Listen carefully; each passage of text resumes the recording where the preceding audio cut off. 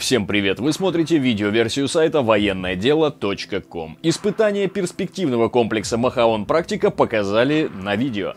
В ходе программы «Приемка» на телеканале «Звезда» представили пулерассеивающие заграждение Махаон Практика. Об этом сообщает еженедельный журнал «Профиль».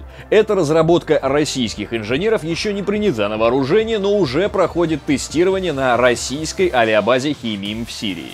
В продемонстрированном видео показали, как сквозь заграждение из нескольких полотен сетки несколько раз выстрелили из пистолета Макарова с расстояния в 20 сантиметров. Одна из пуль в сетке застряла, другие просто рассыпались. С экспериментальным заграждением также не справились автомат Калашникова, пистолет Ерыгина и снайперская винтовка СВ-98. Выстрел из подствольного гранатомета ГП-25 в заграждении проделал брешь, однако осколки гранаты изменили траекторию и полетели в противоположную от преграды сторону. Как рассказал директор Центра специальных инженерных сооружений Олег Шиповал, после проведенных тестовых испытаний разработчики проведут анализ результатов и постараются улучшить это заграждение.